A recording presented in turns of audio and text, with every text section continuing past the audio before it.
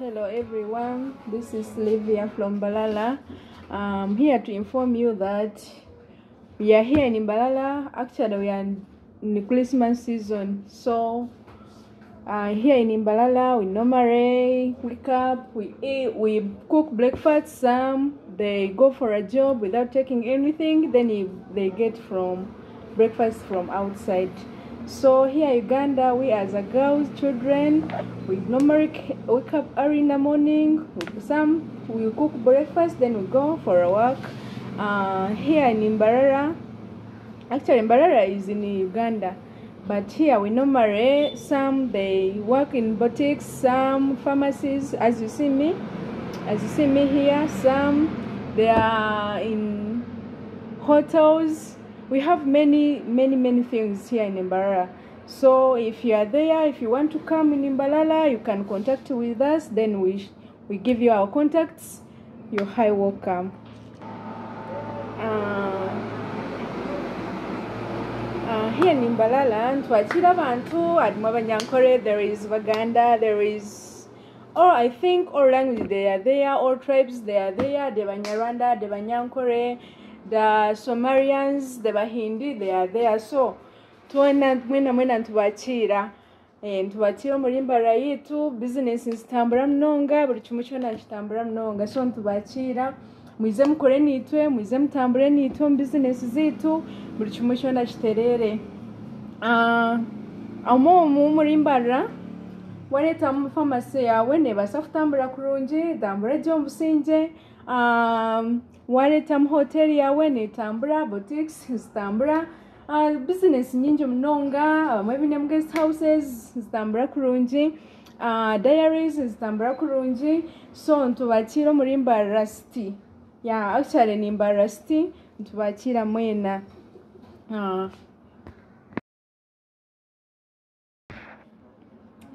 Uh, hello everyone. I'm called Nyana Slivia. Uh, ndi omushawokazi aha afama Rift Rugazi Road ntubakira andi omu Christmas nkeegi ntubakira mwena kwija kutuhagira emibazi yitu buri omubazi gwona twona ntugwinemu buri kyona ekyokwetaaga buri kimwe kyona tukiinemu uh, wija oyine obusaasi bwawe nibukoma ntune wholesale and retail. So wiza oyine obusaasi bwawe hiine ekyokwetaaga orwire omugongo orwire ki? Bakuhandikira omubazi ogwotakubaasa kugira ngu noogura aha twine price nkye munonga munonga. Famasi yetu neshangwaho muri mbarra uh, opposite na maristops wahingura kabaterene. primary school or ogwa rugazi otakikye rugazi.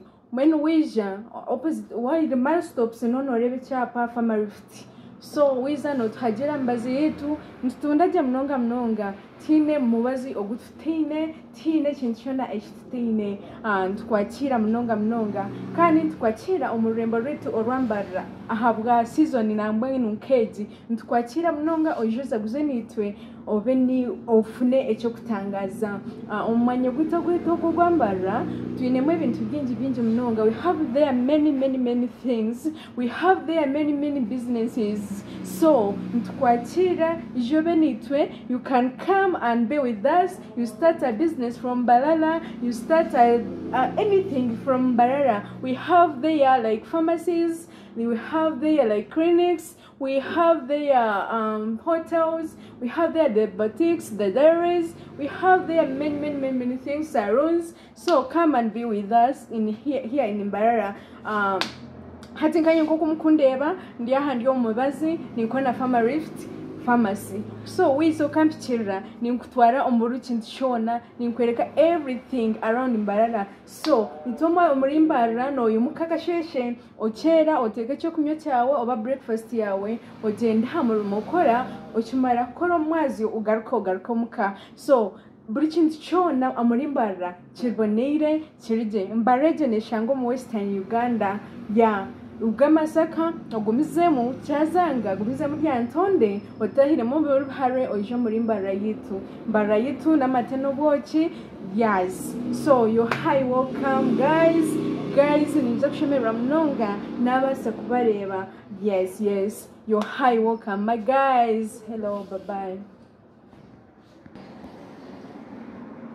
ah, ekinanayibwayo mu nsasire aha omuri mbara waba noyenda buri kimwe kyona. Ah, ebikwatiriine oburiisa n'obuhingi tuyishwize munonga. Eh, twine ente eh, the cows on cheap price. We have milk on cheap price. Uh, and uh, we have uh, like uh, beans what so on tiplines so waiza muri mbarra buri kimwe cyawe nicyo cyaterera is the place of milk and honey. Yes yes. So nkita abana b'abeshi uh, tuganyirwe munonga. Ya yeah.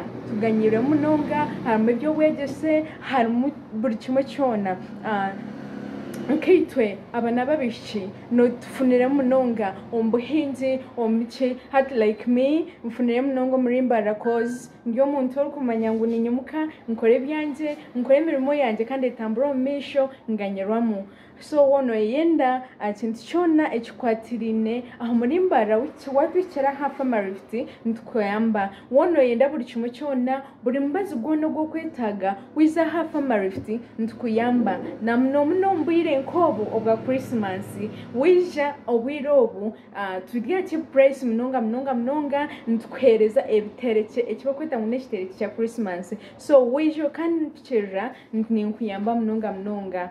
Ya mwije mutureebe nituza kubayamba nituza kubaheereza buri kimwe kimukwetaaga nituza kubakorera buri kimwe kyona ekimukwetaaga aha omuri mbara so mwije amate nitugire kubaheereza omu bwingi otakaza okwo okabura kutunga. Ngu iwe ngu price ebire y'ahaiguru no no no no. Ijo komuri mbara ufunira price y'ahansi ijo kyomuri mbara ofune amate g'ahansi ijo kyo muri mbara ofune buri kimwe kyona ekyokwetaaga oba n'ekyobuhingi oba n'ekyoburiisa oba n'ekyaki you just come. You come and taste mbalala. Mbalala is so sweet. Mbalala is beautiful. Mbalala is something you can't guess. Oh my god. You just come and taste and you see how is mbalala